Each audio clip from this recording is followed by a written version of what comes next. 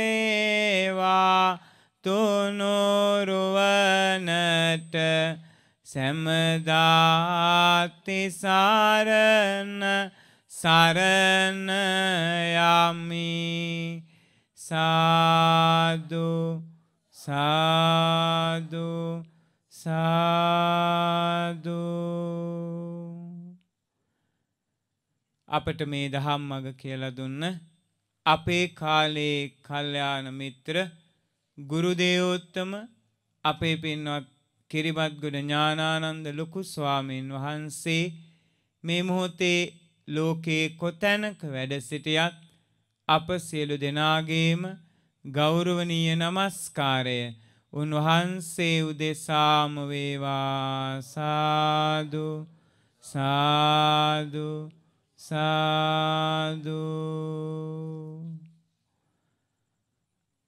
ප්‍රදේශයේ විහාරස්ථානවල වැඩවාසය කරන ගෞරවනීය මහා සංඝරත්නයෙන් අවසරයි.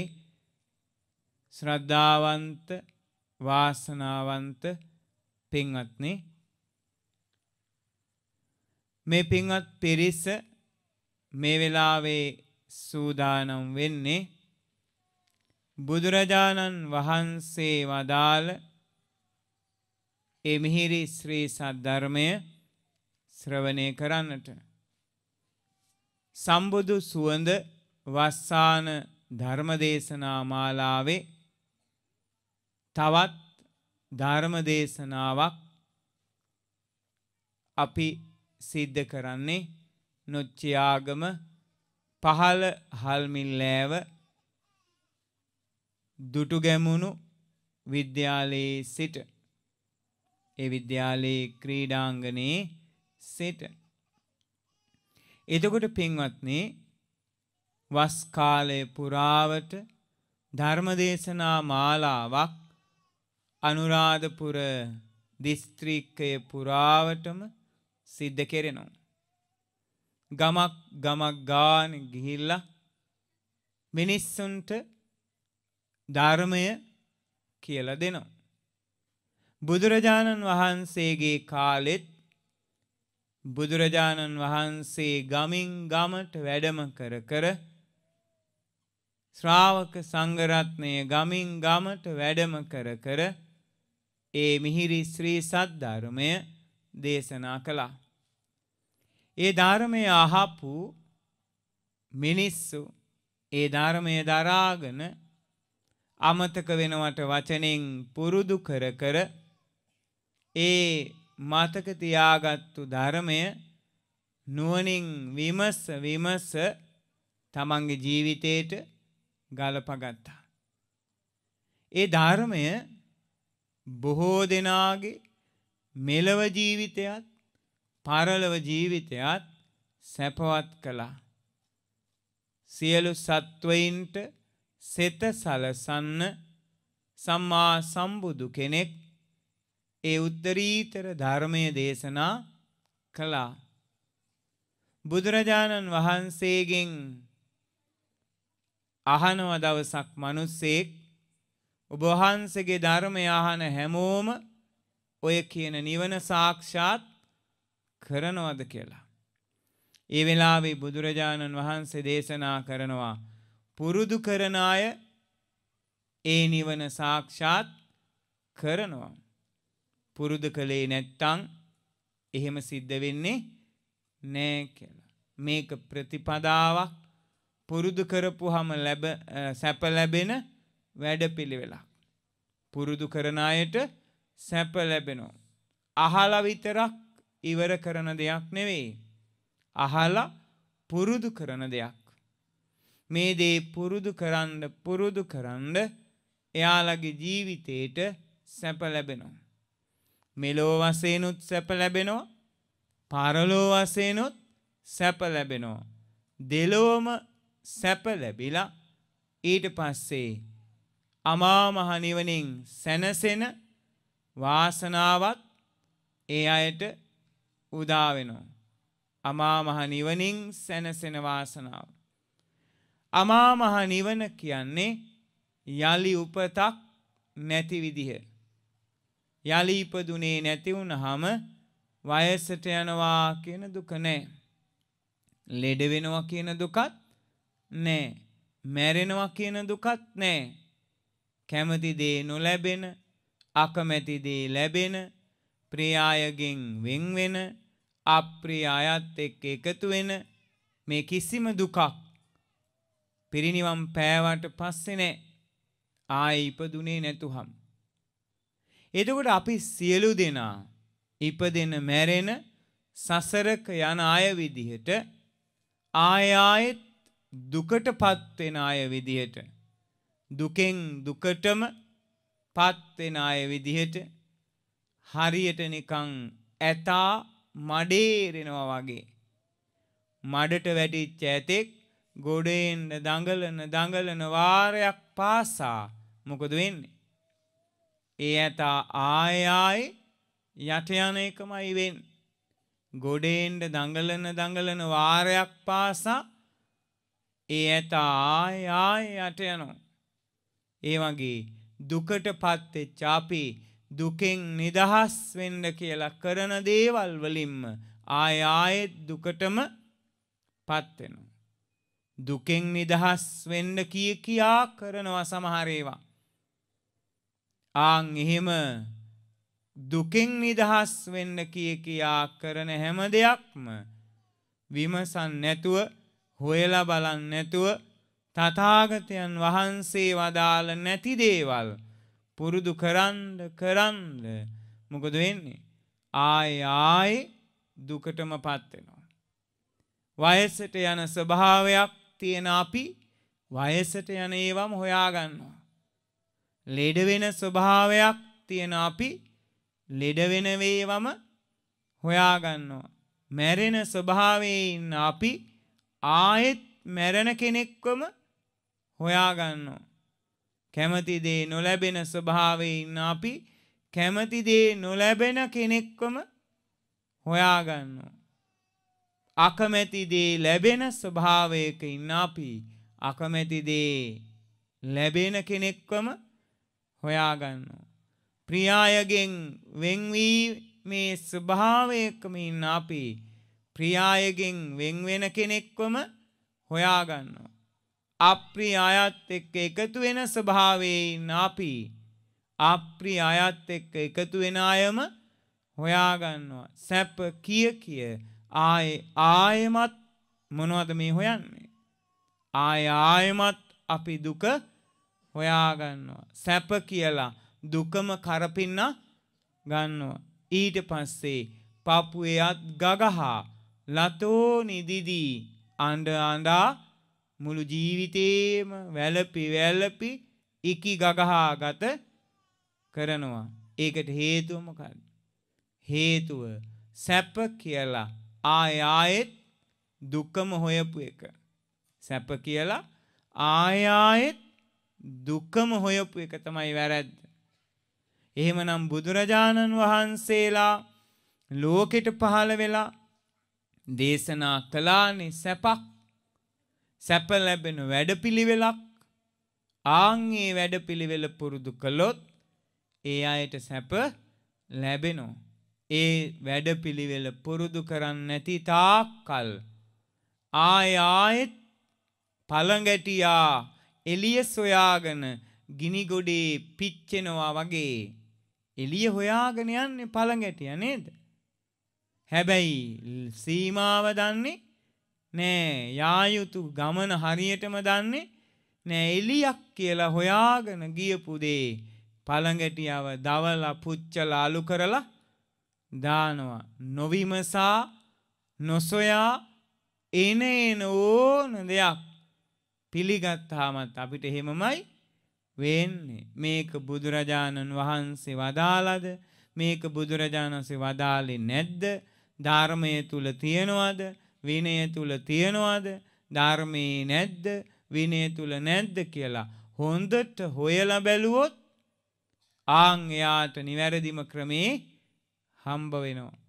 ඉතින් සංසාරේන දවස්වල හැමදාම අපට වැරදුන නිසාම අපි ආය ආයෙත් මේ දුකටම පත් වෙලා ඉන්නවා. මේ ගෞතම බුද්ධ ශාසනෙත් බේරෙන්න බැරි වුණොත් අපිට ආයේ පේන මානෙක පිහිටක් සරණක් ගැලවිල්ලක් නැහැ. ආයෙත් දුකටම වැටෙන්න වෙනවා. ඒ නිසයි අපි නැවත නැවත පුන පුනා කියන්නේ ආය ආය මතක් කරන්නේ අපි කවදද නිදහස් වෙන්නේ කවද්ද අපි මේ දුකෙන් නිදහස් වෙන්නේ අපායේ ඉන්න යමරජ්ජුරුවොත් කිය කිය ඉන්නවලු. වැළපි වැළපි ඉන්නවලු. කවද්දෑ මං මේ ලෝකෙන් නිදහස් වෙලා මනුස්ස ලෝකෙක ඉපදිලා බුදු කෙනෙක්ගේ බනාහලා මේ දුකෙන් නිදහස් වෙන්නේ කවද්දෑ කියලා ඉකී ගගහා අඬාඬ ඉන්න කියනවා යම රජ්ජුරුවොත්. එතකොට හිතන්නකො පින්වත්නි අපිට තියෙන අනතුර මේ ජීවිතෙත් බැරි වුණොත් ක්ෂණ සම්පත්තියක් ලැබිච්ච ජීවිතෙත් බැරි වුණොත් ආයෙත් අපිට අවස්ථාව ලැබෙයිද කියන්න බෑ. ආය නොලැබුණොත් එන එකක් ගැන හිතන්නවත් බෑ. දැන් සමහරු අහනවා අපි තිරිසන් සතෙක් වෙනවා නම් මැරිලා එතකොට ස්වාමීනි සත්තු මරාගෙන කාපුහම අපිට පෞසිද්ධ වෙනවද තිරිසනා විදිහට? ඔව්. එතනත් ඒ කියන හේතුඵල දහමම සකස් වෙනවා. තිරිසනාටත් ප්‍රාණඝාත අකුසලයේ සිද්ධ වෙනවා. එදාට ආය ආයෙත් ඒ ලෝකවලටම යට වෙනවා. ගොඩ වෙන්න විදිහක්ම නෑ ඒකයි අපි කියන්නේ. ඒක හරියට හිරේට නියම වෙච්ච මිනිස්සෙක් හිරගෙදරදී තව මිනිස්සෙක්ව මැරුවා වගේ. සාමාන්‍ය වැරැද්දකට හිරේට යනවා. ඒ මිනිස්සයා හිරගෙදරදී ගහ මරාගෙන තව මිනිහෙක්ව මරනවා. මිනිහා මොකද වෙන්නේ? අවුරුදු 10ට හිරේ ගියපු මිනිස්සයා ජීවිතාන්තය දක්වාම සිරදඬුවම් ලාබනවා දෙවෙනි වැරැද්දට. ගැලවිල්ලක් නෑ ඒ වගේ සතරාපායට වැටිච්ච අය මොකද වෙන්නේ? ආයේ මෙහේන එක බොරුද නැද්ද? මෙහෙ ඇවිල්ලත් බේරෙන්න බැරි වෙච්ච එකේ එහෙ ගිහිල්ලා මෙහෙයි කියලා හිතන්න පුළුවන්ද? මෙහෙ ඇවිල්ලත් මෙහෙ බේරගන්න බැරුව අපායේ ගියපු අය එහෙ ගිහිල්ලා මෙහෙ එනවා කියන එකක් ගැන හිතන්නවත් බෑ. ඒ නිසා හොඳට මේවා කල්පනා කරන්න ඕනේ. මේ අවසන් යුගය මේ අවසාන කාලේ පහනේ තෙල් ටික ඉවර වෙනකොට පහන යාන්තම් පත් වෙනවා නිමිලා නැහැ. හැබැයි තෙලුත් නැහැ. ඒ පහනට තියෙන තෙල් ටික ටික ටික ටික අර අඩියට එකතු වෙලා මොකද වෙන්නේ? ඒ පහනේ තෙල් එක පාර අර අවසාන ටික තිරේට උරා ගන්නවා. උරාගත්තට පස්සේ එක පාර අර දැල්ල එළිය විහිදුවනවා එක පාර එළිය වෙනවා. හැබැයි ඒ අවසන් එළියද නැත්. එතනින් පස්සේ දැල්ල මුළු දැල් අර පහන් තිරේම පුච්චලා දානවා. ආයේ තෙලුත් නෑ වැටිත් නෑ ටික වෙලාවකින් මුළු එළියම නැති වෙලා යනවා. කාලයක් බුද්ධ ශාසනයේ ගෞතම බුද්ධ ශාසනයේ නිවන් දකිනවා කියන එකක් කතා නොවී තිබුණා. මෑත කාලේ ආයෙ මේක ඉස්මතු වෙලා ආවා. මේක ටික දොහක් කතා වෙවි යනවා. මනුස්ස ලෝකේ ඉන්න පින්වන්තම මිනිස්සු ටික වෙනුවෙන් මේ වාසනාව ඉස්මතු වෙනවා. ඒ ටික දෙනා ඵල ප්‍රයෝජන් ගත්තට පස්සේ මේ බුද්ධ ශාසනෙත් මේ ලෝකෙන් අතුරුදහන් වෙලා යනවා. සදහටම ගෞතම බුද්ධ ශාසනයේ දෙවියන්ට මිනිස්සුන්ට අහිමි වෙනවා. ප්‍රමාද වෙන්න එපා කියන්නේ ඒකයි. කල් දදා ඉන්න විදිහක් නෑ. හෙට කියලා දෙයක් අපිට කරන්න ඉතුරු වෙන්නේ නෑ. අජ්ජේව කිච්ඡං ආතප්පං කෝජඤ්ඤා මරණං සුවේ නහිනෝ සංගරන්තේන මහාසේනේන මච්චුනෝ එහෙම නේද? බුදුරණන්සේ වදාළ ගාථාව. අජ්ජේව කිච්ඡං ආතප්පං. අද වැඩේ අදම කරන්ට. කෝජඤ්ඤා මරණං සුවේ. කොයි වෙලේ මරණය එයිද දන්නේ නෑ. නහිනෝ සංගරන්තේන. මහාසේනේන මච්චුනෝ. මහාසේනා ඇති බිහිසුණු මාරයා එක්ක අපි කවුරුවත් ගිවිසුම් ගහලා නෑ නොවේ. එහෙම නේද? මහා සේනා ඇති බිහිසුණු මාරයත් එක්ක අපි කවුරුවත් ගිවිසුම් ගහලා නෑ. වැරදෙයිද නැද්ද? වැරදිලා දැනටම. ආයි වැරදෙයිද නැද්ද කියලා අහන්න දෙයක් නෑ. දැනටමත් වැරදිලා. මෙතුවක් කල් කරපු බහුතරය සතරාපායට බරදේවල්ද නැද්ද වුණේ අවිද්‍යාව තුළ ඉඳගෙන සිත කය වචනයෙන් රැස්සුනේ බහුතරේ අකුසල්ද නැන් බහුතරේ රැස්සුනේ අකුසල්. බහුතරයම. දැ මේ පිංහුතුන්ගෙන් ඇහුවොත් දැනගෙන කරපු අද වැඩිපුර පව් සිද්ධ වෙන්නේ නොදැන කළොත්ද කියලා.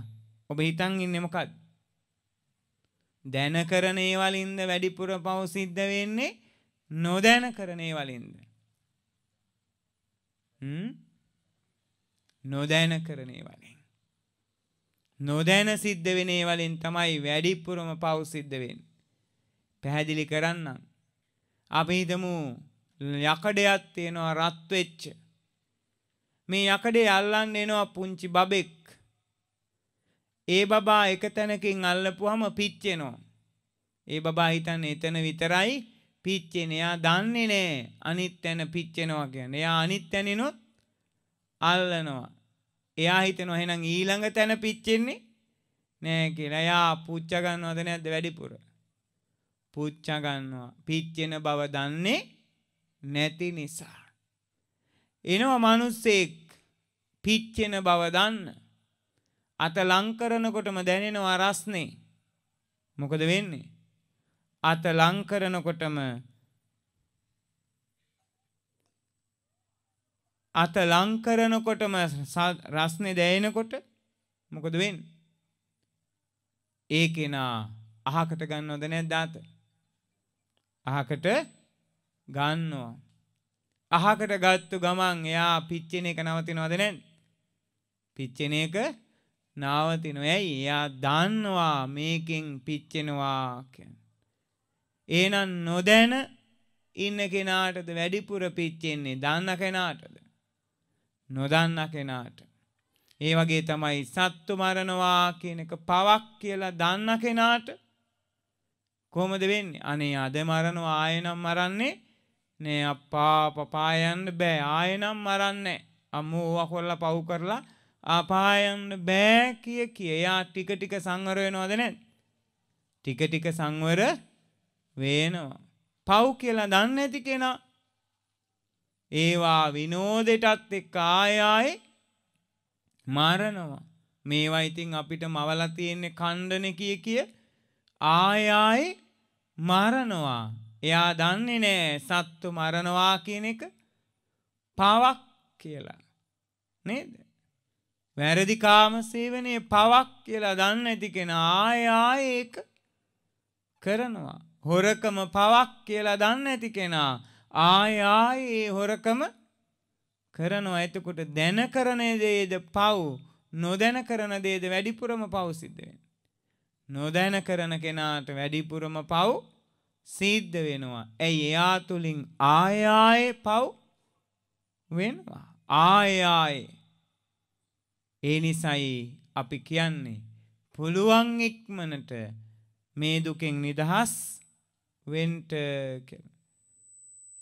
පුළුවන් ඉක්මනට මේ දුකෙන් නිදහස් වෙන්ට නැත්තං දැවැන්ත අනතුරක් අපිට තියෙනවා. බරපතල අනතුරක්.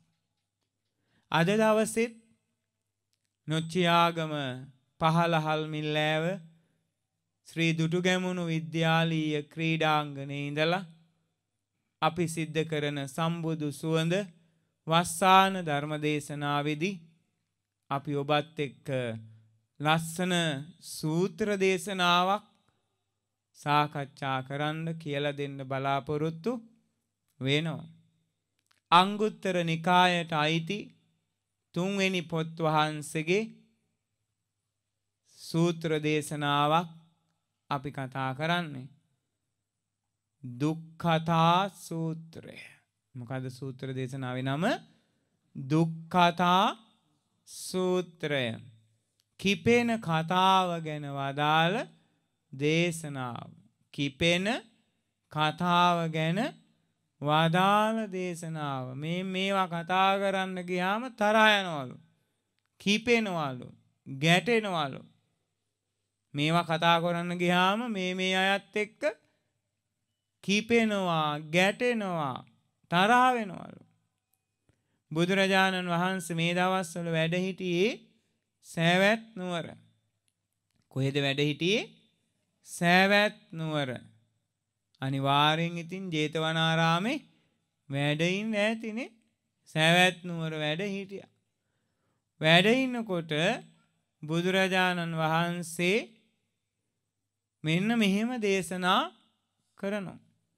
මහණෙනි ඒ ඒ පුද්ගලයා හට ගලපා බැලීම පිණිස ඒ ඒ පුද්ගලයා හට ගලපා බැලීම පිණිස පුද්ගලයන් පස් දෙනෙකුගේ කතාවන් කිපෙන කතා වෙනවා කියන.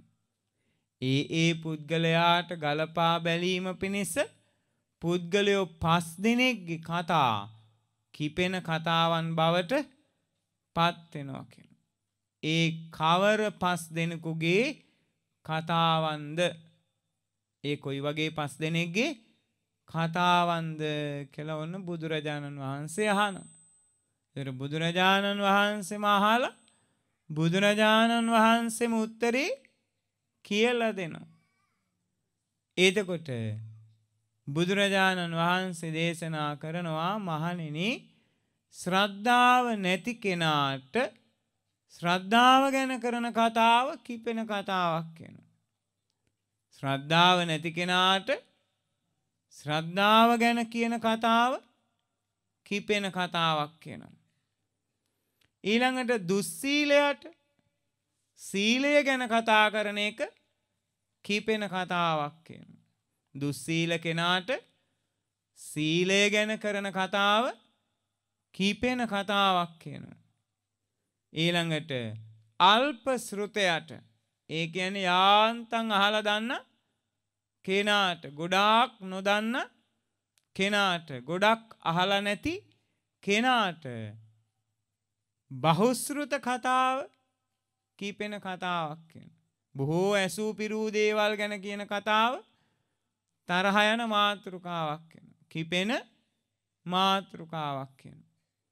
ඊළඟට මසුරු මිනිස්සයාට දාන ගැන කරන කතාව දන් දීම ගැන අත්හැරීම ගැන කියන කතාව කිපෙන කතාවක් කියනවා.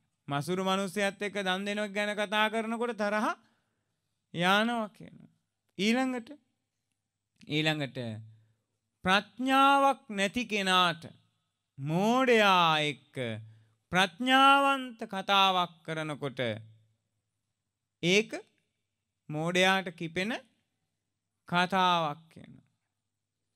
කාට දේනම් කිපෙන කතා තියෙන්නේ ශ්‍රද්ධාව නැති කෙනත් එක්ක ශ්‍රද්ධාව ගැන කතා කළොත් ශ්‍රද්ධාව නැති කෙනා කිපෙනවා කියනවා. ගැටෙනවා කියනවා.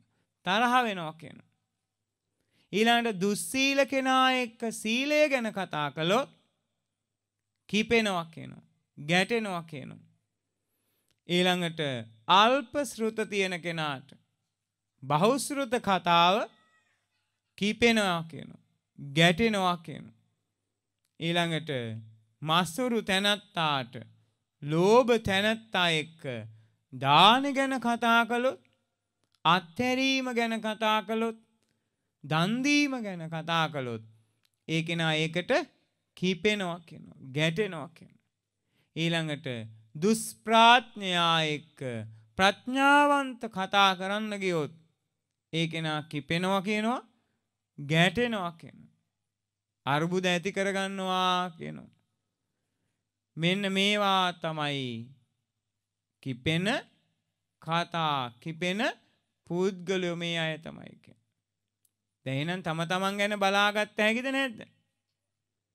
තමා තුළින් දකින දහමක් කියන්න ඒකනේ නේද දැ හුඟක් අය කොරන්න හෙමනෙවෙන අපේ අම්ම හෙමද අපේ තාත් අයමදි කියලා වෙන වෙන අයත් එක්ක සසඳනෝ. දැම් මේක වෙන වෙන අයත් එක්ක සංසන්ධනය කරන එකක් නෙවෙයි. තම තමාත් එක්ක බලන එකත් තමා තුළින් දකිනවා. මම සීලේ ගැන කතා කරනකොට තරහ යනවාද. මම ශ්‍රද්ධාව ගැන කතා කරනකොට තරහ යනවද.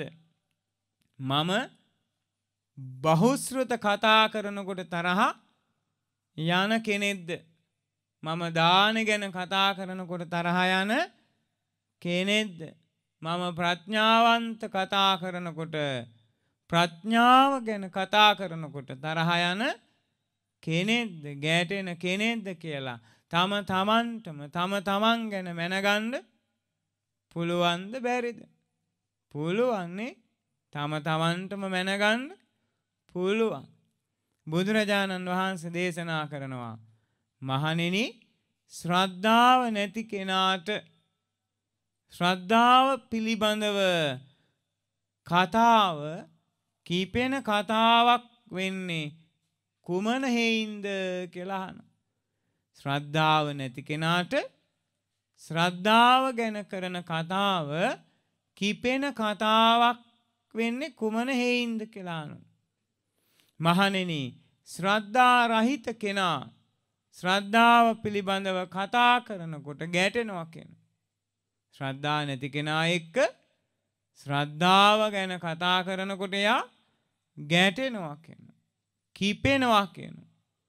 ඊළඟට ව්‍යාපාදයට පැමිණෙනවා කෙනවා. ඇවිස්සෙනවා කෙනවා. විරුද්ධව නැගී සිටිනවා කෙන.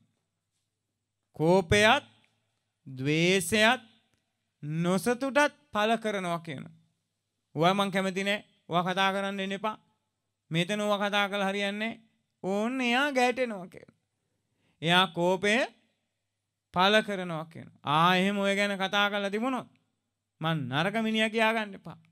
ඕන්න එයා කෝපය ප්‍රකාශ කරනවා ගැටෙනවා. එයා විරුද්ධ වෙනවා ආව මෙතන කතා කොරන්ට. අන්න එයා ගැටෙනවා. එයා විරුද්ධ වෙනවා. නේද? එයා විරුද්ධ වෙනවා. ඊට පස්සේ මොකද වෙන්නේ? ඒකට හේතුව මොකද්ද? මේ නොසතුට පළ කරන්න. විරුද්ධ වෙන්න හේතුව මොකක්ද කියලා බුදුරජාණන් වහන්සේ අහනවා. මහණෙනි ඒ කෙනා ශ්‍රද්ධා සම්පත්තිය තමා තුළ දකින්නේ කෙන. තමා තුළ ශ්‍රද්ධාව දකින්නේ නෑ කෙන. ඒ හේතුවෙන් ශ්‍රද්ධාව ගැන කතා කරද්දි එයා තුළ ප්‍රීතියක් ප්‍රමුදිත බවක් සතුටක් උපදින්නේ නෑ කෙන මොක දැගේ කොරන කතාව තමා තුළ නෑ ඒ කියන දේවල් තමා තුළ නෑ කියන. ඒ නිසාම එයාට ඒ ගැන සතුටක් ප්‍රීතියක් ප්‍රමුදිත බවක් ප්‍රබෝධමත් බවක් ඇතිවෙන්නේ නෑ කෙනවයි කතා කොරන්නේ තමා තුළ නැති දෙයක් ගැන තමාගාව නැති දෙයක් ගැන කතා කරන්න. ඒ නිසා එයාට සතුටක් උපදින්නේ නෑ කියනවා ප්‍රීතියක් උපදින්නේ නෑ කියන ඔයා ප්‍රමුදිත වෙන්නේ නෑ කියනවා සතුටු වෙන්නේ කියනවා. ආං ඒ නිසා මොකද වෙන්නේ. ශ්‍රද්ධාව නැති කෙනාට ශ්‍රද්ධාව ගැන කරන කතාව මොකද වෙන්නේ ගැටෙන කතාවක් කියන. අර්බුද ඇති කරන කතාවක් කියනවා. ඊළඟට එයා මොකද කරන්නේ ඒ ඉන්දහා කීපෙනවා කියන. දැම් මේක දකින්න නැද්ද. අපේ සමාජෙ ඕන තරං තියෙනවනේ ඕන් ඕන මහත්තය හොඳට මොකද වෙන්නේ.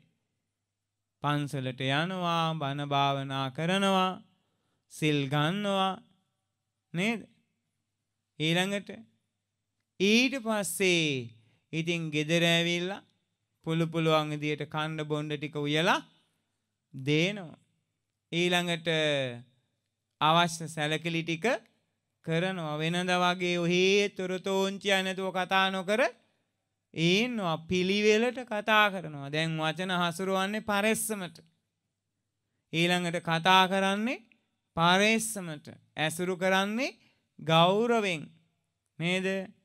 දැන් ඉතින් තරහයන එකට යා බයයි ගැටෙන එකට බයයි. එයා පවට ලෑජ්ජයි එයා පවට බයයි.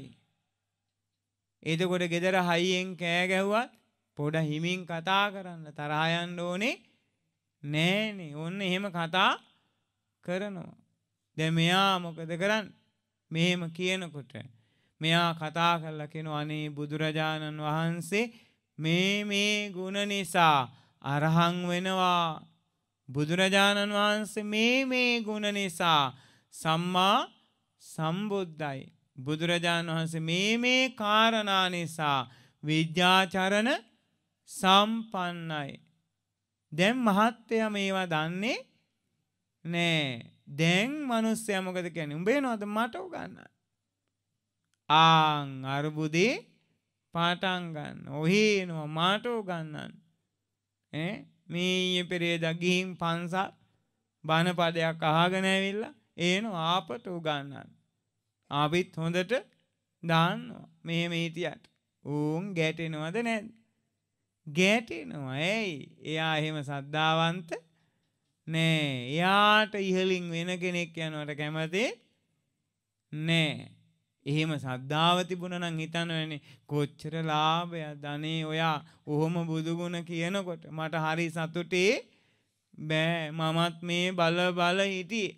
ඔයත් කවදදෑ මේ වගේ බුදුගුණ කියන්න කියලා. අනේ කොච්චර ලාභයක්ද. ඒත් මිනිස්සු මොකද කියන්න.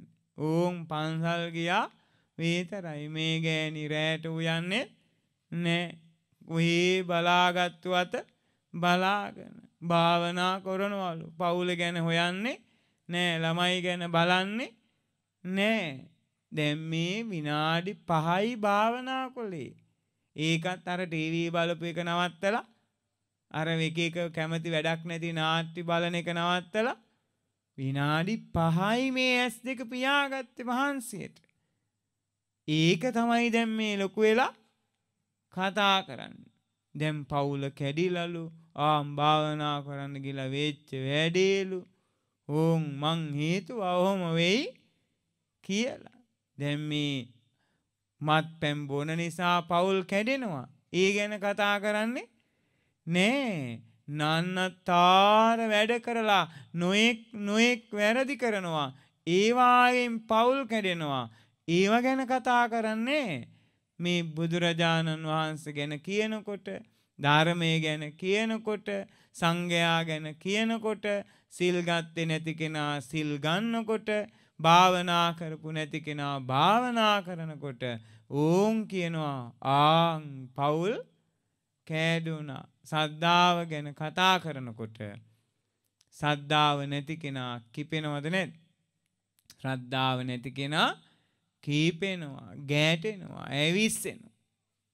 ඇයි ඒ කතාවෙන් එයාව සතුටට පත්වෙන්නේ නෑ. එයා ප්‍රීතියට පත්වෙන්නේ නෑ. ප්‍රමුදිත වෙන්නේ නෑ. ඒ නිසා එයා ඒත් එක්ක ගෑටෙනවා කීපෙනවා කියන.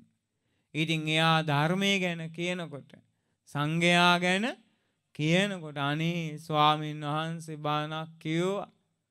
අම්මෝ ඒ වගේ බණපදානේ ආය ආය ආන්න ඇත්නම්. කියනකොට ඒන ඉතින් පන්සලටලා ඉන්න එකයි ඇත්තේ. ඕන් කියනවද නැද්ද? කියවෙනවන්නේ. ඒන ඉතින් ආය ගෙදරෙන්ඩ ඕනේ? නෑ. පන්සලට වෙලා ඉන්න එකයි ඇත්තේ බානාහාහා දැම් මේ නෝන මහත්තයා සඟගුණ කිව්වේ. අනේ උන්වහන්සේලා මොන තරම් ලස්සනට බණ කියනවද? මිනිස්සු ගැන අනුකම්පාවෙන් මේ අරහත් දජේ පැළඳගෙන ඉන්න සංඝරත්නය මේ බුද්ධ ශාසනයේ බර දරාගෙන මිනිස්සුන්ට කොච්චර උපකාර කරනවද කියලා දැන් මේ ස්වාමීන් වහන්සේලා ගැන ගුණ ටික කිව්වේ. පොයට සිල් ගන්න පන්සලට ගියේ. අනේ බලන්නකො පුංචි හාමුදුරු නමක් වැඩියා. බණ ටිකක් කිව්වා අම්මෝ කියලා කිව්ව ගමන්. හා හා උඹට ඉතින් ඒවානේ ලොකු අන්න ගැටෙනවා. ඇයි? එයා තුල සංඝයා ගැන පැහැදීම නෑ ශ්‍රද්ධාව නෑ. ඒ නිසා එයාට ඒ කතාවෙන් සතුටු වෙන්න බෑ පැහැදෙන්න බෑ ප්‍රීතියට පත්වෙන්න බෑ. ඒ නිසා මොකද වෙන්නේ? එයා ඒ කතාවත් එක්ක කීපෙනවා. ගැටෙනවා නේද ඇවිස්සෙනවා ආං ශ්‍රද්ධාව නැති කෙනාට ශ්‍රද්ධාව ගැන කතා කරනකොට කිපෙනවා කියන්නේ ඕකයි. ගැටෙනවා කියන්නේ ඒකයි. ඇයි කිපෙන්නේ? ඇයි ගැටෙන්නේ? ඒ කතාව අහලා එයා සතුටටපත් වෙන්නේ නෑ. ඒවා නිසා ප්‍රීතියටපත් වෙන්නේ නෑ. ප්‍රමුදිත බවක් ප්‍රබෝධමත් බවක් ලබන්නේ නෑ. ඒවා නිකන් එයාට කටු අනිනවා වගේ. නේද? පීයෙන් අයිනවා වගේ. නේද? ආන් එහෙම වෙනවද නැද්ද? එහෙම වෙනවා. ඕන් දැන් තරුණ දූල පුතාලා පන්සලට ගිහිල්ලා බණ පද අහගෙන එනවා. දැන් ඉතින් තාත්තයි අම්මයි එහෙම නෑ. බණක් අහන්නෙත් නෑ පන්සලක් පැත්තේ යන්නෙත් නෑ බණ පදයක් අහන්නේ සිල් ගන්නෑ. ඕන් තරුණ දූල පුතාලා එහෙම ගිහින් බණ පදාහලා දැන් ඉතින් හොඳට ඉන්න. ඕන් දැන් වැඩිය කතා බහකුත් නෑ. ඉතින් නිතර දහම් පොත් කියෝනෝ ඊට පස්සේ ඕන්න නිතර බණ භාවනත් කරනවා. දැන් ඉතින් වෙනද වගේ රූප පෙට්ටි දිහා බලන් ඉන්නේ නෑ දැන් ඉතින් මේ කාලෙන් උපරිම ප්‍රයෝජනේ ගන්නවා දැන් ඉතින් ඉඳ හිට භාවනා වැඩසටහන් වලට එහෙම යනවා. දැන් ගමේම අය මොකද කියන්නේ? ආ දැන් ඉතින් හරියන්නේ නෑ ඉක්මනට බන්දලා දෙන්න වෙයි නැත්තම් එහෙම විනාසයි. කියනවද නැද්ද? කියනවා ඉක්මනට බන්දලා දෙන්න වෙයි කියනවා. එයි බණ භාවනා කරලා ජීවිතේ වෙනසුනොත් ආයේ හැදිලි බොරු ඕන් ඒ අය කියන හැටි. නේද? ආයේ කල කිරුණොත් එහෙම පවුල් පිටින්නේ කඩාකප්පල් වෙන්නේ. ඕන්න කියන. නේද? ඈ ඉතින් සිද්ධාර්ථ ගෞතමය අවුරුදු 70 වෙන් විතරද ගිහිගෙන් ගියේ. පැවිදි වුණේ නෑනේ 29 දී ආයේ නෑ සුපිරිම තරුණ වයසේ. නන්ද කුමාරයා මගුල් පෝරුවේ නගින්න ඕන්න මෙන්න තියලා අරන් ගියේ. ජනපද කල්යාණි දිහා බල බල ගියේ. එනවා එනවා බය වෙන්න එපා පාත්‍රේ දීලා. ආවා තම. නේද? ආයේ නේන ගමන් ගියාද නැද්ද? කවදාවත්. කිසිම ලෝකෙකට නේන්ද? පිරිනිවම් ගමම්ම ගියානේ. එනවා එනවා කිය කිය ගියේ. ජනපද කල්යාණිට බල බලා හිටි ඒනකම් අන්තිමට මොකද කීවේ? කොහොමද කියලා ඇහුවානේ දිව්‍ය ලෝකෙට එක්කගෙන ගිහිල්ලා. දිව්‍යාංගනාවන්ව පෙන්නලා. නන්ද කොහොමද මේ දිව්‍යාංගනාවෝ දියෑ බලපුහම ජනපද කල්යානේ අර කවියෝ කියන්නේ නේ අනේ භාග්‍යතුන් වහන්ස ඒවා ගැන කතා කොල්ල වැඩන්නෑ කිව්වා. හරියට නිකං අලුත පුච්චපු හේනක මූණ පීචිච්ච වැඳිරියක් වගේ කිව්වා. ජනපද කල්යන් ඊට පස්සේ බුදුරජාණන් වහන්සේ කිව්වලු භාවනා කළොත් මේ වගේ දිව්‍යාංගනාව 500ක් දෙනවා කිව්වලු. ඉතින් උන්වහන්සේ වල ඉඳලා භාවනා කරනවලු. මොකටද? දිව්‍යාංගනාව අයිති කරගන්න. ඊට පස්සේ භාවනා කරනවා කරනවා කරනවා හිත වැඩෙන්නේ නැල්ලු. මොන එකද මේ කියලා ඕන නැති දිව්‍යාංගනාවක් නැහැ කියලා භාවනා කරන්න පටන් ගාත්තලු ගාත්තා තමා හිත වැඩුණා සියලු කෙලෙසුන්ගෙන් හිත නිදහස් වෙලා මහරහත් වුණා. ඒතකොට බුදුරජාණන් සැවවලු නන්ද දිව්‍යාංගනාව එක්කෙන් යන්ද කියලා. ස්වාමීනි සියල්ල ලැබුණ මට දිව්‍යාංගනාවෙන් ඇති ඵලේ මොකද්ද? එහෙනම් හිරි මල් තරුණ වයසේදී පැවිදි වුණේ නේද? ආනන්ද පැවිදි වුණේ හිරිමල් තරුණ වයසේ. නේද? ආ එහෙනම් තරුණ කාලේ පැවිදි වුණාට කමක් නෑ. පැවිදි වෙන්න බැරි අය ගැටෙන්න ඕනේ නෑ. කිපෙන්න ඕනේ නෑ. තරහ වෙන්න ඕනේ නෑ. ඔය පැවිදි වෙන දෙතුන් දෙනාට මේ රට සංවර්ධනය කරන්නත් බෑ. මුළු ජාතියක් ගොඩගන්නත් බෑ. ඒ නිසා පැවිදි වෙන අය පැවිදි වෙච්චාවේ නේ අර රස්තියාදු ගහන ටික පොඩ්ඩක් බේරගත්තොත් හොඳද නැත් අර විනාශ වෙන පරපුර බේරගත්තොත් හොඳද නැද්ද පැවිදි වෙන අය නම් පන්සලකට එලා හරි හොඳට ඉඳීනේ. ඒත් අර රස්තියාදු ගහන අය අර විනාශ වෙන පරපුර ගැන බලන්න කවුරුවත් නැහනේ.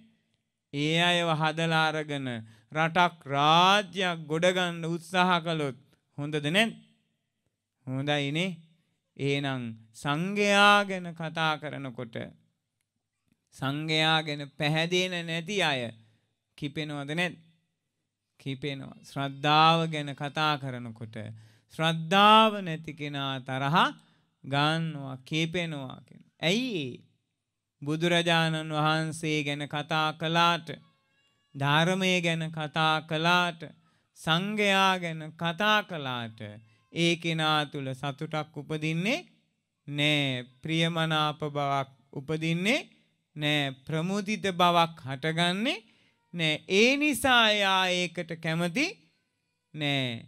ඒ නිසා එයා කිපෙන්න කෙන. ඒ නිසා එයා ගැටෙන්න කෙන. ඒ නිසා එයා මුලා වෙනවා කෙන. අර්බුද ඈති කරගන්න ඕක. බුදුරජාණන්සේ දේශනා කරනවා එහෙනම් ඕන් ඕක තමයි පළවෙනි කතාව. කිපෙන කතාව. මොකද්ද පළවෙනි කිපෙන කතාව? ශ්‍රද්ධාව නැති කෙනත් එක්ක ශ්‍රද්ධාව ගැන කතා කිරීම. දෙවෙනි කතාව මොකද්ද? දුස්සීලයත් එක්ක සීලය ගැන කරන කතාව. ඕන සත්තු මරණ කෙනෙක් ඉන්නවා. එයා දුස්සීලයි. එයා එක්ක කතා කරනවා සතුන් නොමැරීම ගැන. එයා එක්ක කතා කරනවා සත්තු මරපුහම වෙන විපාක ගැන. එයා එක්ක කතා කරනවා සත්තු මැරීමේ ආදීනව ගැන. එයා ඒකට කැමතිද? කැමති නෑ. ඒ නිසා එයා තුළ ගැටීමක් කිපීමක් දවේශයක් තරහක් ඇති වෙනවද නැන් තරහක් ඇති වෙනවා. සත්තු මරණ කෙනා එක්ක සත්තු මරන්න නැති එක ගැන කතා කරනකොට. ඒ සත්තු මරණ එකේ ආදීනව කතා කරනකොට. සත්තු මරණ එකේ විපාක ගැන කතා කරනකොට ප්‍රාණඝාතයට අපාය සංවත්තනික සූත්‍රය තියෙනවා. අපාය යන්න වෙනවා. තිරිසන් ලෝකේ යන්න වෙනවා. පෙරේත ලෝකේ යන්න වෙනවා.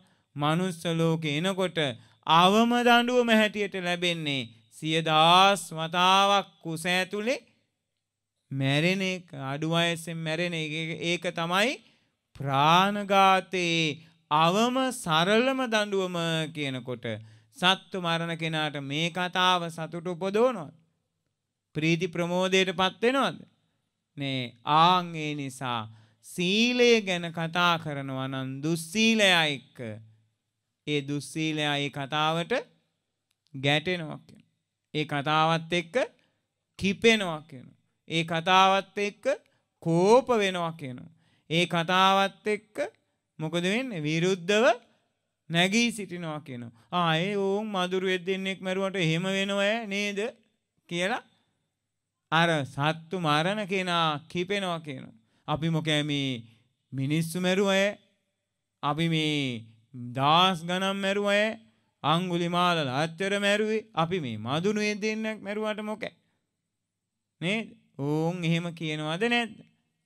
කියනවා ඊළඟට කීපෙනවා එයා. එයාලා ගැටෙනවා ඒ කතාවට.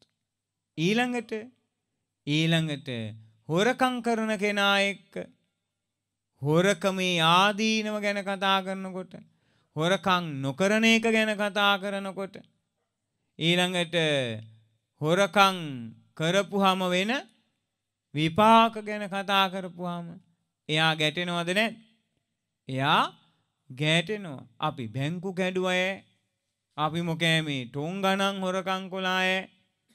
අපි මේ චූටි දෙයක් මේ එදාවේල කන්න හොයාගත්තේ. කෝක මාලුකු පවක්කෑ ඒනවා මෙතන අපට උගන්නන්න. එහෙම කියනවද නැත්. එහෙම කියනවා කීපෙනවා ගැටෙනවා. කවුද හොරකං කරන කෙනා හොරකං කිරීම නොකිරීම ගැන. හොරකමින් වැෑලකීම ගැන කතා කරනකොට ගැටෙනවා කෙන. වැරදිකාම සේවනය කරන කෙනත් එක්ක වැරදිකාම සේවනයේ නොකිරීම ගැන කතා කරනවනම් වැරදිකාම සේවනයේ විපාක ගැන කතා කරනවා නම් ඕන්න ගැටෙනවා කියන. මේමයි වැරදිකාම සේවනය කරපුහම අපාය යනවලු. තිරිසන් ලෝකෙ පෙරේත ලෝකෙ ගිහිල්ලා මනුස්ස ලෝකෙ එනකොට ඒකෙ අඩුම දඬුවම හැටියට සරලම දඬුවම හැටියට ආදරේ අහිමියෙනවලු අභූත චෝදනා එනවලු. කියනකොට මොකද වෙන්නේ? මේ මේ ඌවා කතා කරන්න ඕනේ මගෙත් එක්ක මේ වෙන වෙන කතාවක් කරනවා. මගෙන් දෙකක් අහගන්න නැතුව. ඕන්න කිපෙනවා කියන. එයාලා ගැටෙනවා කියන. කිපෙනවා ගැටෙනවා කියන. එහෙමනම් සීලයක් නැති දුස්සීලයත් එක්ක සීලයක ගැන කරන කතාව ගැටෙන කතාවක් කියනවා. කිපෙන කතාවක් කියනවා. මේ සමාජෙ හිමද නැත්. මේ සමාජෙ හිමයි. බොරු කියන කෙනත් එක්ක බොරු නොකීම ගැන කතා කරනවන එයා ගැටෙනවා කියන එයා කිපෙනවා කියන එයා එහෙම ගැටෙන්නේ කිපෙන්නේ ඇයි? බොරු කියන කෙනා එක්ක බොරු නොකීම ගැන කතා කරනකොට එයා තුළ සතුටක් උපදින්නේ නෑ. ප්‍රීතියක් ප්‍රමෝදයක් හටගන්නේ නෑ. ප්‍රමුදිත බවක් හටගන්නේ නෑ ඒ නිසා එයා ඒ කතාවත් එක්ක කිපෙනවා ගැටෙනවා කියන. ඕන මත් පැන් මදරාවේ පානය කරන කෙනෙක් ගැන කෙනෙක් කියනවා. ඒ කෙනත් එක කතා කරනවා මත් පැන් මදරාවේ පානය කරන්නේ නැති එකක් ගැන. මත්පැන් මද්‍රව්‍ය පානය කරන එකේ විපාක ගැන ආදීනව ගැන විඳින්න වෙන අපාගත දුක ගැන එහෙම කතා කරනකොට මොකද වෙන්නේ? මේ ඕකනම් නවත්තන්න හදන්න එපා. ඕක ගැන කතා කරන්නත් එපා. ඔහේගෙයි මගෙයි ඇයි හොඳයියත් නැති වෙන්නයි යන්නේ. වෙන මාතෘකාවක් කතා කරන්න කියලා රණ්ඩු වෙනවද නැත් ගෑටෙනවා කීපෙනවා නේද? සමහරු බාද්ධ වෛරේ ඈති කරගන්නවා. ඇයි? දුස්සීල කෙනා එක්ක සීලය ගැන කතා කරනකොට ඒ කතාව නිසා එයා තුළ සතුටක් උපදින්නේ නෑ ප්‍රීතියක් ප්‍රමුදිත බවක් උපදින්නේ නෑ කියන. ඒ නිසා එයා ඒ කතාවත් එක්ක ගැටෙන්න කියන. කීපෙන්න කියන. එයා ඒකට විරුද්ධව නැගේ සිටින්නේ ඒකයි කෙනවා එහෙම ඕ ඒ ගැන මා එක්ක කතා කළොත් ඔහේගෙයි මගෙයි සහෝදරකොනුත් නෑ කියලා මතක තියාගත්තොත් හොඳයි කෙනවා දැන් ගැටෙනවා. විරුද්ධව නැගී සිටිනවා. ඇයි? ඒ දේ එයා තුළ නෑ. දුස්සීලයා තුළ සීලය නැති නිසා. එයා සතුටු වෙන්න ඇති නිසා ප්‍රීතියට පත්වෙන්නේ නැති නිසා ප්‍රමුදිත වෙන්නේ නැති නිසා. මොකදෙන් එයා කිපෙන්න කෙනවා එයා ගැටෙනවා කියන. මේ දේ අපිට දකින්න නැද්ද අද දවස්සේ මේ සමාජය හොම නැද්ද? සමාජය දකින්න ලෑබෙනවා. අකාලිකද නැද්ද බුදු බණ එදාටත් අදටත් මතුවටත් එක ලෙස ගැලපෙනවද නෑ? එක ලෙස ගැලපෙනවා. බුදුරජාණන්ස දේශනා කරනවා. එනම් දෙවෙනි කිපෙන කතාවමකත් දුස්සීල කෙනෙක් එක්ක සීලය ගැන කරන කතාව කිපෙන කතාවක් දුස්සීල කෙනෙක් එක්ක සීලය ගැන කරන කතාව කිපෙන කතාවක් කියන. ඊළඟට බුදුරජාණන්ස දේශනා කරනවා. මහනෙනි අල්ප ශෘතයාට චූටක් අහලා තියෙන කෙනාට ටිකායි දන්න ගොඩක් දන්නේ නෑ අල්ප ශෘතයි චූට්ටයි අහලා තියෙන් ඇසූ පිරූ තැන් නෑ බහුස්ෘත නෑ අල්ප ශෘත කෙනාට බහුස්ෘත පිළිබඳව කතාව බහුස්ෘත බව ගැන කතාව කිපෙන කතාවක් කියන. ඕන දැන් අම්මයි තාත්තා ඉතින් යන්තන් ටිකක් දාන්න ඔය පොඩි පොඩි සූත්‍රයක් දෙකක් දාන්න පුංචි පුංචි කතාවත් දෙකක් දන්නවා. එහෙම දැනගත්තාම ඕන්න තරුණ දරුවෝ ගිහිල්ලා මොකද වෙන්නේ? අම්මේ සෝතාපන්න වෙන්නේ මෙහෙමලු. අම මෙහෙම මෙහෙම වුණොත් සසර යන්න වෙනවලු කියලා. දැන් අර දරුවෝ හොඳට බණ අහලා මොකද වෙන්නේ? දරුවෝ හොඳට ධර්මය අහලා ඒ ධර්මයේ දරාගෙන ගිහිල්ලා අම්මා තාත්තා ගැන අනුකම්පාවෙන් කියලා දෙන්න හාදනකොට තාත්තා මොනවද කියන්නේ? ඒනෝ මෙතන මට බාන කියන්න. යකු මන් යත් දෙක උස්සල නමස්කාර කිව්වේ. මමනේ බුද්ධන් සරණං ගච්ඡාමි කියෙව්වේ මේ කොල්ල මට බණ කියන්න කීපෙනවද නැද්ද? ඇයි තාත්තා කැමති නෑ? අම්මා කැමති නෑ? සමහර විට වැඩි හිටියා කැමතිත් නෑ. පුංචි කෙනාගේ බහුශෘත බව දරාගෙන අහගෙන ඉන්න ඇයි? එයා අල්ප ශ්‍රුතයි එයා දන්නේ ටිකයි. එයා අහලා තියෙන්නේ ටිකයි ඒනවා මෙතන. මට උගන්නන්න මමනේ ඉදිවිසෝ ගාතාව කියලා දුන්න. මමනේ බුද්ධන් සරණං ගච්ඡාමි කියලා දුන්න. ඒනවා මෙතන. මට කියලා දෙන්න. උගන්නන්න ආව මෙතන. ආයෙම ආවොත් මගෙන් හොඳ වයින් දෙකක් අහගන්න ඕන්න කිපිලද නැද්ද? ගැටිලද නැද්ද? විරුද්ධව නැගී සිටිනවද නැද්ද? ආදින් පස්සේ යන්න පැත්ත පලාත අන්න විරුද්ධව නැගී සේටිනවා. නේද? ඕන තරුණ දරුව මොකද වෙන්නේ? බානාහලා යථාර්ථ තේරුම් ගන්න.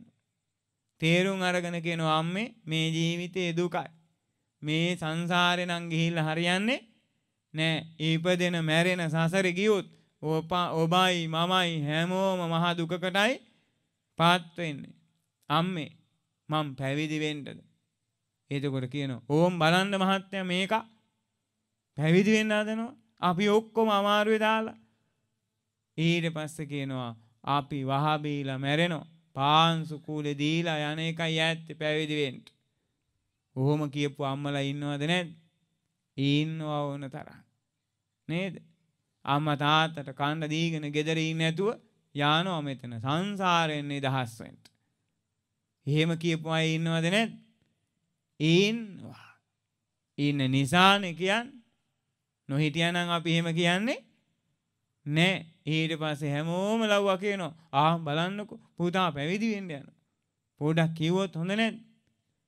මුන්ට තේරෙන්නේ අපි විඳපු දුක. විඳෝලම බලපල්. එහෙම කියවනවද නැද්ද? එයාලා කියන්නේ ඒක විඳලම බලන්නලු. ඉතින් අසූචි ගාගත්තාම ගඳ නම් ඉතින් අපිත් ගාගෙනම බලන්න නැද ගඳද කියලා. කාට හරි තේරෙනවා නම් ඈත ඉඳන් අසූචි ගඳ බව ආයි ගාගෙන බලන්න ඕනේ. දුකයි කියලා තේරෙනවා නම් ඒක විඳෝලා බලන්න ඕනේ. නේද? ඒත් වැඩිහිටියෝ මොකද කියන්නේ සමහරු? සෘතයක් නැති අය, අල්ප සෘතයක් නැති අය, බහුශ්‍රෘත නැති අය, අල්ප සෘතයක් තියෙන අය මොකද කියන්නේ? කිපෙනවා ඔය කතාවේදී. කිපෙනවලු. ආයේ ඕවා දැන් බෑ. පාරමී පුරන්න ඕනේ. ඔය නිකන් ආවට ගියාට ඕවා කරන්න බෑ. උඹට පුළුවන් ඇව්වා කරන්න කියලා ඕන් අධෛර්යමත් කරනවද නැද්ද? ආධෛර්යමත් කරනවා. ඊළඟට කියනවා හරි අකාරුණිකයි. අම්මට සලකන්නේ තාත්තට සලකන්නේ තනියම නිදහස් වෙන්න ලෑස්ති. බුද්ධ දේශනාවේ නෑ කණ්ඩ දුන්නා කියන එක අම්මට සැලකිල්ලක් අඳින්න දුන්නා කියලා කොහේ හරි එක්කන් ගියා කියන එක මහා සැලකිල්ලක් නෙවෙයි කියනවා. ආදරෙයි නම් අම්මට හෝ තාත්තට බිරිඳට හෝ ස්වාමියට දරුවන්ට කාට හරි අනුකම්පාවක් තියෙනවා නම් ආදරයක් තියෙනවා නම් ඒ කෙනාව පුළුවන් තරම් ඉක්මනට තිසරණෙහි සීලෙහි පිහිටවන්න ඕන කෙනා. සෝතාපට්ටි අංගවල සමාදන් කරවන්න ඕන කෙනා. එහෙම කරලා එයාව සසර දුකින් නිදහස් වෙන වැඩපිළිවෙලකට පමුණුවන්න ඕන කියනවා. ඒක තමයි ආදරය, ඒක තමයි සැලකිල්ල, ඒක තමයි කරුණාව කියනවා. ඒකනේ අම්මව මේ කරේ තියාගෙන තාත්තව මේ කරේ තියාගෙන එක දිගට අවුරුදු 100ක් කරෙන් බස්සන්නේ නැතුව අම්මා තාත්තට සැලකුවත් දරුවාව manuss ලෝකේ උපද්දවපු ණය ගෙවලා ඉවර කරන්න බෑ කියලා බුදුරජාණන්සේ දේශනා කරනවා. මොකද්ද බුදුරජාණන්සේ දේශනා කරන්නේ? පුතෙක් එහෙම නැත්නම් දුවක් අම්මව මේ කරේ තියාගෙන තාත්තව මේ කරේ තියාගෙන කරෙන් බස්සන්නේ නැතුව අවුරුදු 100ක් එක දිගට සැලකුවත් එයාගේ ඒ මනුස්ස ලෝකෙට උපත දීම නිසා අම්මාට තියෙන ණය තාත්තට තියෙන ණය ඉවර වෙන්නේ නෑ කියනවලු. ඒ කියන්නේ දරුවෙකුට ණය ගෙවලා ඉවර කරන්න බෑ කියනවා ඒ විදිහට කරේ තියාගෙන සලකලා. හැබැයි යම් කිසි දරුවෙක් අම්මාට බුදුරජාණන් වහන්සේ වඳුන්නලා දෙනවා නම් ධර්මයේ සංඝයා ගැන අඳුන්නලා දෙනවනම් ශ්‍රද්ධාවේ පිහිටෝනවනම් සීලයේ පිහිටෝනවනම් සෝතාපට්ටි අංග හතරේ පිහිටෝනවනම් ආන් ඒ දරුවා එසැනින් ණය ගෙවලා ඉවර කරනවා කියන. එහෙනම් සලකන්නේ කවන්න දීලා බොන්න දීලාද? නෑ තිසරණේ පිහිටෝලා. සීලයේ පිහිටෝලා. ඒ නිසා බුදුරජාණන් වහන්සේ දේශනා කරන්නේ හොඳම සැලකිල්ල තිසරණයයි සීලයයි ලබලා දෙන එක.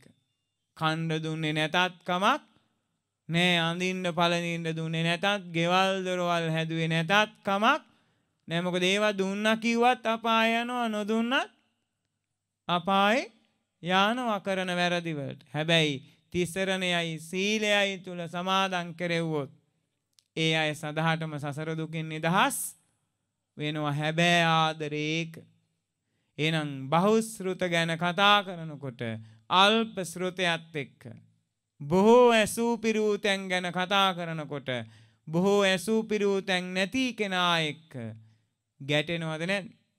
ගැටෙනවා, කිපෙනවා. ඇයි ගැටෙන්නේ කිපෙන්නේ?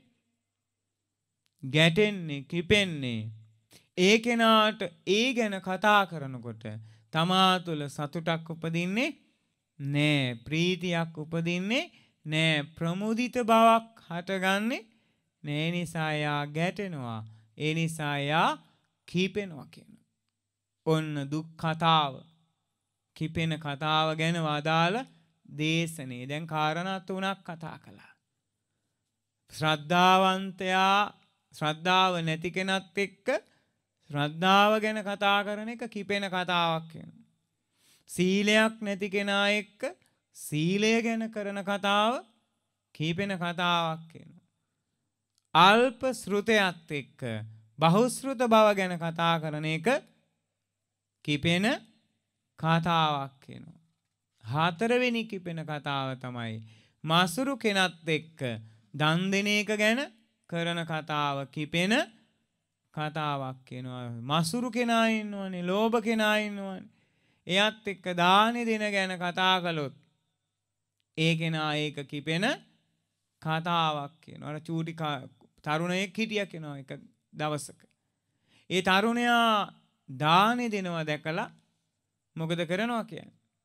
ඕන්න මිනිස්යාටත් හිතුණා දානයක් දෙන්න. ඉතින් දානයක් දෙන්න හිතුණට දානෙ දෙන්න දේවල් එයා ගාව මේ මිනිස්සයා හිතුවා මං කට්ටිය එකතු කරගෙන දානේ දෙනවා කියලා. බුදුරජාණන් වහන්සේ ප්‍රමුඛ 500ක් පිරිසට අඬ සංඝයාට ආරාධනා කළා දානෙට. දැන් දානෙට ආරාධනා කරලා මොකද කළේ? ගෙවල් ගාන ගියා. 500ක් සංඝයාට මං ආරාධනා කළා ඔයා කීයක් බාර ගන්නවද? අනේ මං දෙනමක් බාර ගන්නවා. දැන් හොම හොම බාරගත්තා. සමහරු බඩු බාහිර ආදිය දුන්නා. මං අනේ මගේ ගානේ හාල් මගේ ගානේ මේවා කී කී එක එක්කෙනා දුන්නා Tamanට හැටි හැටියට. ඕන ගියා මේ කොළු ගැටයා කඩ මණ්ඩියට. මුදලාලිගේ කඩේට ගිහිල්ලා මුදලාලි මම දානයක් දෙනවා. කැමතිද උදව් කරන්න? මොනවා හරි දෙනවද දානෙට? මුදලාලි බැලුවා නිකන් යටිපල්ලේ ඉඳලා උඩට බලලා දාන්නේ නේ දෙන්න නේද? හා කියලා මොකද කළේ? එන්නකෝ දෙන්න කියලා එක්කන් ගියා මුං ඇට ගාවට. මුං ඇට මල්ල ගාවට. අරන් ගිහිල්ලා මේ ඇඟිලි තුන අරගෙන ආ දානෙට මුං ඇට කියලා ඇඟිලි තුනට අහුවෙච්ච ටික දුන්නා. ඊළඟට කවුපි ගොඩට ගිහිල්ලා ආ කවුපි දානෙට ඕන් හාල් කියලා දැන් ඇඟිලි තුනෙන් අහුවෙච්ච ටික දුන්නා. දීලක හරි ඕන් දුන්න දානෙට දෙන්න කියලා දුන්න. දීලා කිව්වා ඇඟිල්ලේ තරමට පැයි ඉදිවෙන්ට දෙන්න බැයි නම් මොන එකකට බාරගත්තත් පුළුවන් එකක් හැබැයි කොරන්න කිව්වා. ඊට පස්සේ මොකද උනේ? බොහොම පින් සිද්ධ වෙනවා. තිබ්බ හැටියටනේ ඉතින් ඔබතුමා දුන්නේ. කාමක් නෑ. ඒක එක්කෙනා එක එක පමණට දුන්නා. තම තමන්ගේ හැටි හැටියට දුන්න ඉතින් ඔබ දුන්න එකත් මං සතුටෙන් බාර ගාත්තා කියලා ඔන්න ගියා. ගියාට පස්සේ දැන් කඩේ ගාවට කට්ටිය එනවනේ. එතකොට කියනවා අරක ආවා දානයක් දෙන්න. පුළුවන් එකක් එපැයි කොරන්ට. මං හොඳ වැඩේ කොලේ කිව්වා. මොකද ආපුවම කිව්වලු මං දුන්නා බේ මේ මෑගිල්ල තුනේ. මං දුන්නා කිව්වා. ඊට පස්සේ ඕක දිගින් දිගට ගියාට පස්සේ මොකද උනේ නිකන් ඇඟිලි තුනේ හැඩේ බලල් කකුල වගේනේ. ඉතින් මොකද උනේ බිලාල පාදක සෙට්ටි බලල් කකුලේ මුදලාලි කියලා මේ මිනිහට නම පාට බැඳුනා. බලල් කකුලේ මුදලාලි කියලා. ඒ දුන්නේ බලල් කකුලේ හැඩේටනේ. ඊට පස්සේ මොකද වෙන්නේ? ඕන් දානෙට ගිහිල්ලා දැන් මේ මිනිහා ඉන්නවලු දැන් මං ගැන කියයිද දන්නේ නෑ සෙනගමත් දෑවේ යංකො බලන්න කියලා කිව්වොත් එහෙම කාපනවා කෑලි කියලා පිහියේ ඉනයක් ඉනේ ඉනේ පීයක් ඉනේ පීයක් ගහගෙන ගියාලු දෙන්නම් කොහොමද වැඩේ මං ගැන කිව්වොත් දැන් ඊට පස්සේ උන දානේ පූජා කළාලු දැන් පුණ්‍යානුමෝදනාව බුදුරජාණන් වහන්සේට පිරිමි ළමයා නැගිටලා කිව්වලු ස්වාමීනි හාල් මලු ගණන් දීපු අයත් හිටියා. චුට්ටක් දීපු අයත් හිටියා. ගොඩක් දීපු අයත් හිටියා. අනුමෝදන් වෙච්ච අයත් හිටියා. ගොඩාක් දීපු අයත් හිටියා. ස්වාමීනි බැනපු අයත් හිටියා. ස්වාමීනි ඒව මොනවා වුණත් දානේ පින සියලු දෙනාට එක ලෙස අනුමෝදන් කරන්නකෝ. සමානව අනුමෝදන් කරන්නකෝ.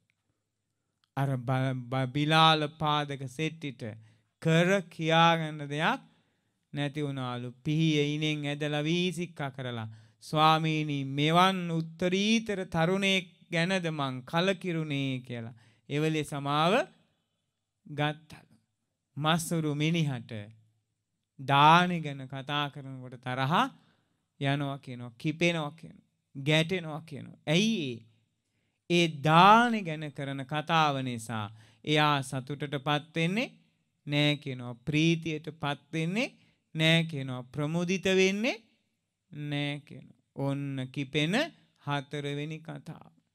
පස්වෙනි කතාව මොකක්ද? දුෂ්ප්‍රාඥයාට ඒ කියන්නේ මෝඩයට ප්‍රඥාව ගැන කතාව කිපෙන කතාවක් කියන. මෝඩයා එක්ක ප්‍රඥාව ගැන කතා කරන්න ගියොත් ඒක කිපෙන කතාවක් කියන. ඕන්න කවුරු හරි ගිහින් මැද්දෑවකට ගිහිල්ලා සෙනග ගොඩක් මැදට ගිහිල්ලා කියනවා මේවා ඉතින් අනිත්‍යයි දුකයි අනාත්මයි. මේවා ඉතින් හේතු නිසා හටගත්තුවා හේතු නැති වෙනකොට නැති වෙනවා. ඕන්න දැන් මොකද වෙන්නේ? කීපෙන්න ගත්තා. නේද? ඕන එක ඉස්කෝල එක එක තැනක ඉගෙන ගන්න තැනක දුවක් මොකද වෙන්නේ? රැස්වීමේ කතාවක් පැවැත්වෝ කතාව මොකක්ද නමේ වසර ඉගෙන ගන්න දුව කතාව පැවැත්තුවා අනිත්‍ය ගැන. ලස්සන කතාවක් ළමයට තේරෙන හැටියට. ඒ ළමයා කිව්වා උදේට ඉර පායනවා. හැන්දෑවට ඉර බැහැලා යනවා. දවස අනිත්‍ය වෙලා යනවා. අපි පුංචි අය වෙලා හිටියා. දැන් අපි බාල වයස පහු කරලා. දැන් අපි තරුණ වේගන එනවා. ටික දොහකින් අපි වයසට යනවා. සියල්ල අනිත්‍ය වෙනවා. අර ගහේ කොලේ ලස්සනට කොළ පාටට තියෙනවා. හෙට උදේට වේලිලා බිම වැටෙනවා. හේතු නිසා හටගත්තුවා හේතු නැති වෙනකොට නැති වෙලා යනවා. අනිත්‍ය වෙලා යනවා. මේ ජීවිතේ අනිත්‍ය දේවල් නිසා දුකහට ගන්නවා. ඒ අනිත්‍ය දේ දුක නිසා මම මගේ මගේ ආත්මය කියලා පවත්තන්න දෙයක් නෑ කියලා මොකද වුණේ ඕන්න දුව කතාවක් පැවැත්තුවා. කතාව පවත්තුපුවාම එතන හිටපු කෙනෙක් මේකට ගෑටුණ. ගෑටිලා කිව්වා මේ පුංචි වයසේ හැටියට කොරන්න එපැයි කතා. තාම ඉස්කෝලෙ ගිහිල්ලා ඉවරත් නෑ. ඒනවා මෙතන. අනිත්‍ය ගැන කතා කරන්න. කිව්වා ආදීන් පස්සේ පන්සල් ගිහින් තිබ්බෝ බලාගෙනයි කිව්වා. යන්නේ නෑ ආයේ කිව්වා පන්සල්.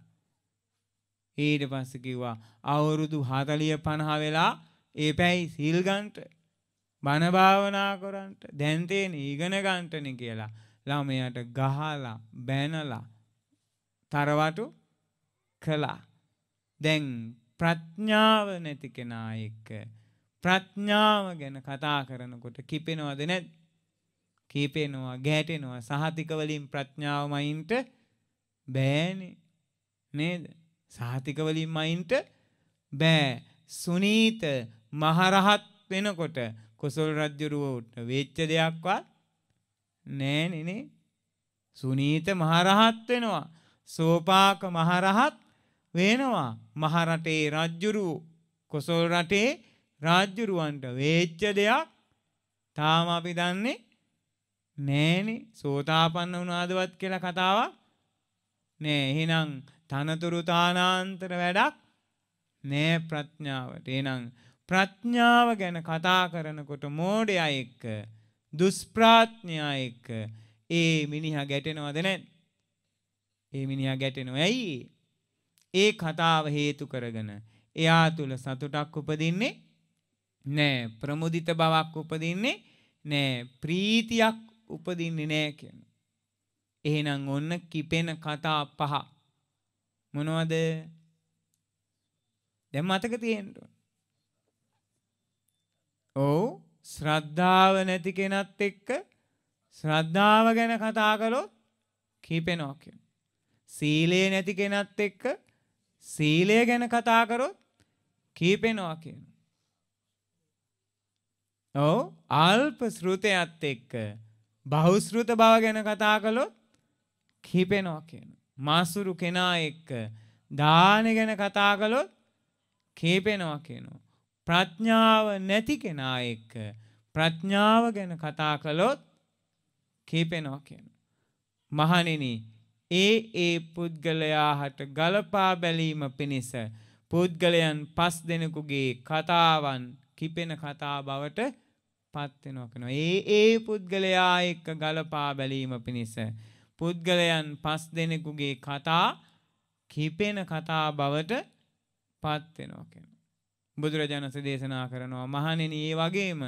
ඒ ඒ පුද්ගලයා හට ගලපා බැලීම පිණිස පුද්ගලයන් පස් දෙනෙක්ගේ කතාවන් මිහිරි කතාවෙනවා කෙනු. මිහිරි කතා බවට පත්වෙනවා කෙනවා. මොනවදී කතා කවුදේ පස් දෙනා කෙලහනව බුදුරජාණන්සේ. මහනෙන ශ්‍රද්ධාවන්ත කෙනාට ශ්‍රද්ධාව ගැන කතා කරන එක මිහිරි කතාවක් කියන. ශ්‍රද්ධාවන්ත කෙනාට ශ්‍රද්ධාව ගැන කතා කරන එක මිහිරි කතාවක් කියන. මේ මේ කාරණා නිසා බුදුරජාණන් වහන්සේ අරහං වන සේක කියනකොට යා තුළ සතුට ප්‍රීතිය ප්‍රමුදිත බව උපදිනවා කියන. මේ මේ කාරණා නිසා උන්වහන්සේ වදාළ දහම සන්දිට්ටික වන සේක කියනකොට එයා තුළ සතුට ප්‍රීතිය ප්‍රමෝදය උපදිනවා කෙනවා. මේ මේ කාරණා නිසා ශ්‍රාවක සංඝයා සුපටිපන්න වන සේක කියනකොට අනේ මම සරණ ගිය ශ්‍රාවක සංඝයා එච්චර ශ්‍රේෂ්ඨයි නේද කියලා. එයා ඒ කතාව මිහිරි කතාවක් බවට දරාගන්නවා කියනවා. එයා ඒ මිහිරි කතාවට කැමති වෙනවා කියනවා. කැමති වෙනවා කියනවා. එයා තරහ යන්නේ නෑ කියනවා. ගැටෙන්නේ නෑ කියනවා. ඒ ගැන විරුද්ධව නැගී හිටින්නේ නෑ කියනවා. එයා ඒ කතාවට කැමති කියනවා. ආයේ ආයේ අහන්න කැමති කියනවා. ඇයි ඒ කතාව නිසා ශ්‍රද්ධාවන්තයත් එක්ක ශ්‍රද්ධාව ගැන කතා කරනකොට එයා තුල සතුටක් උපදිනවා කියනවා. ප්‍රීතියක් උපදිනවා කියනවා. එයා තුල ප්‍රමුදිත බවක් ප්‍රබෝධයක් ඒ කතාවෙන් හටගන්න නිසා ඒ කතාව යාට මිහිරි කතාවක් කියනවා. ශ්‍රද්ධාවන්තයාත් එක්ක ශ්‍රද්ධාව ගැන කතා කළ. ඊළඟට සිල් රකින්න කෙනෙක් එක්ක සීලය ගැන කතා කරනකොට ඒක මිහිරි කතාවක් කියනවා.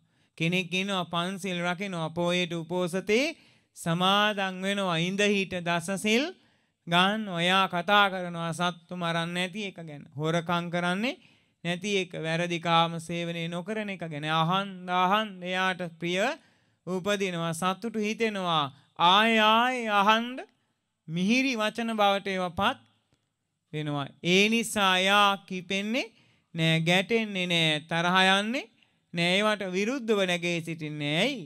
ඒ කතාව එයාව සතුටට පත් කරනවා ප්‍රීතියට ප්‍රමෝදයට පත් කරනවා. එහෙනම් සීලය තියෙන කෙනාට සිල්වත් කෙනත් එක්ක සීලය ගැන කතා කරනකොට ඒක මිහිරි කතාවක් වෙනවා කියලා. ඊළඟට බහුශ්‍රෘත කෙනා එක්ක බහුශ්‍රෘත බව ගැන කතා කරනවා. නොයෙක් ඇසූ පිරිවුතැන් නොයෙක් නොයෙක් සූත්‍ර දේශනා අංගුත්තර නිකායෙන් මජ්්‍යම නිකායෙන් සංයුක්ත නිකායෙන් ඊළඟට දීග නිකායෙන් මේ විදියට නවාංග ශාස්තෘ ශාසනය ගැනම කතා කරනකොට එයා ආය ආය සතුටට පත් වෙනවනේ ඒ ධර්මය ආය ආය අහන්න ඇත්නම් කොච්චර හොඳද කියලා ආය ආය අහනවා කියනවා. ඇයි? ඒ බහුශ්‍රృత බව තුල එයා ප්‍රීතියට පත් වෙනවා ප්‍රමුදිතය බවට පත් වෙනවා සතුටට පත් වෙනවා ප්‍රීති ප්‍රමෝදයට පත් වෙනවා. එයාට ඒක මිහිරි කතාවක් වෙනවා. ඒක හරියට ඊඩෝරෙක තියෙනකොට මහා කාන්තාරයකට මහදබ වැස්සක් වගේ කෙනවා. ඒක යාට මිහිරි කතාවක් ඊළඟට ඊළඟට දන් දෙන්න කෙනාට දාන දෙන කෙනාට දාන දෙන එක ගැන කතා කරනට මිහිරි කතාවක් එනවා මේ මේ දාන දීලා අර ගෑනු කෙනා දිව්‍ය ලෝකෙ ගියා.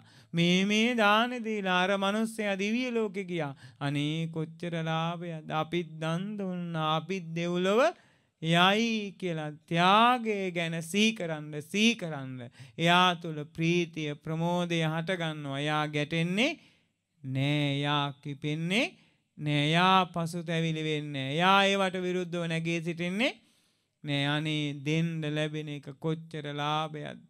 දැන් මේ දවස් ගානක් තිස්සේ අපි සම්බුදු සුවඳ වැඩසටහන හරහා වස්සාන ධර්ම දේශනාව හරහා ධර්මය දන් දෙනවා. ඉතින් එහෙම කරනකොට ආය ආයේ ධර්ම දානය කරන්න හිතෙන්නේ නැත්. ආය ආයේ ධර්ම දානය කරන්න හිතෙනවා. ඒ බණ පද අහලා සැනසෙන්න සැනසෙන්න ආය ආයෙත් ඒ පින්කම් කරන්න හිතෙනවනේ එහෙනම් මසුරු නැති කෙනාට දාන දෙන කෙනාට දාන ගැන කරන කතාව අත්හැරීම ගැන කරන කතාව මොකක්ද වෙන්නේ ප්‍රිය උපදවන ප්‍රමුදිත බවට පත් කරන කතාවක් කියන. ඊළඟට